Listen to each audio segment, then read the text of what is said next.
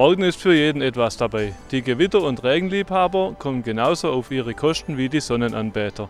Den ganzen Tag über ist es wechselhaft und schwül. Bei bis zu 23 Grad lässt sich das aber aushalten.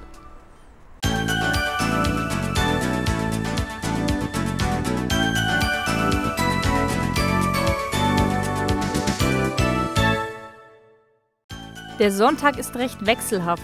Die Sonne scheint, es gibt aber vereinzelt Schauer und Gewitter. Außerdem kann ein böig frischer Wind wehen. Die Temperaturen bewegen sich tagsüber maximal um die 20 bis 23 Grad. Nachts kann es, bei leichtem Regen, auf 15 Grad abkühlen. Auch zum Wochenbeginn ist es noch leicht regnerisch und wolkig. Am Dienstag aber kommt der Sommer in kleinen Schritten zurück.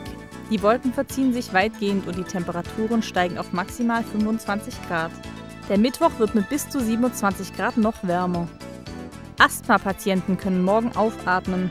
Die vereinzelten Schauer können das Atmen erleichtern. Dagegen kann das wechselhafte Wetter mehr Herzbeschwerden und Kopfschmerzen verursachen.